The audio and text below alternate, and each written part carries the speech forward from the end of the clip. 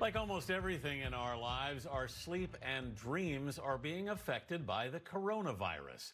In a Harvard survey, more than 2,000 people described 5,000 COVID related dreams in the past month.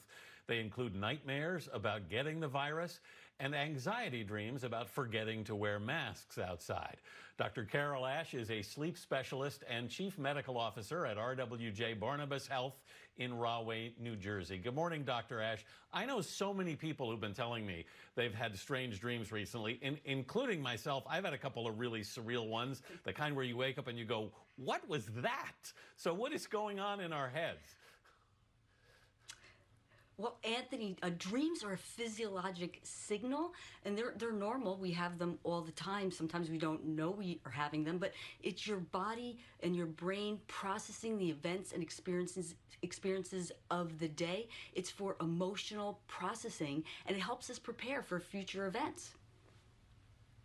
So, is it basically healthy to have these dreams, as disturbing as some of them may be? Well, they, they are healthy. I mean, you can have dreams along a spectrum.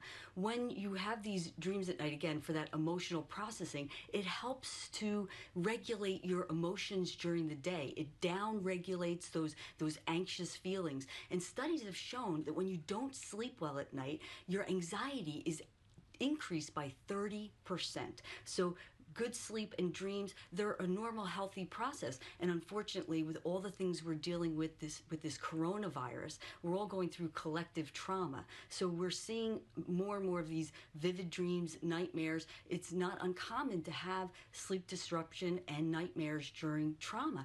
But what also is happening, Anthony, is some of us, because we're not working, our schedules are disrupted and we're, we're sleeping in. We're actually getting more sleep. And you have more dreams right before you awaken in the morning. So most of us are actually experiencing dreams for the first time. So we're finding our dreams are more vivid because we just haven't had the opportunity to really get good quality sleep.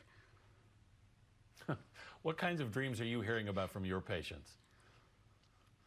Well, there's a whole spectrum, Anthony. We have people that are talking about virtual dreams where they're literally dreaming about the virus, all the way to metaphors, people feeling like they're they're they're running away or they're they're they're dreaming about people touching them, swarms of bugs. And and unfortunately, obviously we have those healthcare providers on the front lines that are experiencing real trauma. You know, it's it's hard to be dealing with this coronavirus and doing what we do. And some some of those folks are experiencing nightmares and, and having some real difficulties. We're also in this period of social isolation that most of us have not experienced. Is, is that affecting how we sleep? Well, this is really an interesting thing. Obviously, so the the social distancing it is critically important. We all need to stick to that, and, and we're seeing wonderful outcomes because of it.